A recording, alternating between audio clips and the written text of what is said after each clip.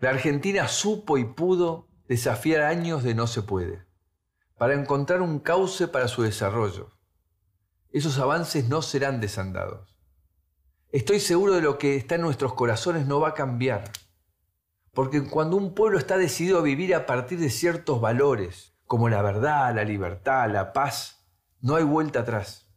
No es cierto que debamos aceptar las limitaciones de lo que el país fue a lo largo de su historia. La historia se escribe en el presente.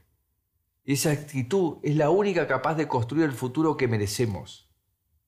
Fueron cuatro años en los que los argentinos aprendimos a mirar de frente nuestros problemas. Fueron cuatro años de aprendizajes, de logros concretos, de una madurez de la que estoy profundamente orgulloso.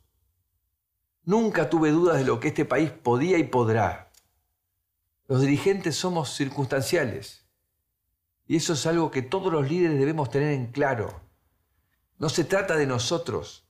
Se trata de millones de personas que quieren vivir de otra manera y que tienen derecho a hacerlo. En unos días asumirá un nuevo presidente y empieza una nueva etapa.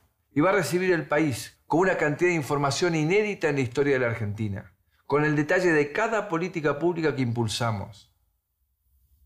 Lo hago porque sé cómo la falta de información entorpece y retrasa las soluciones. Y jamás haría algo para entorpecer el trabajo del gobierno entrante. Nada nunca puede estar por delante de los argentinos. Voy a seguir acompañándolos desde la oposición, siempre de manera constructiva y responsable. Hoy hay una alternativa sana de poder en Argentina. Vamos a seguir juntos con una presencia sólida en el Congreso, para seguir trabajando por todo lo que falta. No tengo ninguna intención de poner trabas a propuestas sensatas y transparentes. El futuro de los argentinos depende ni más ni menos de todos los argentinos.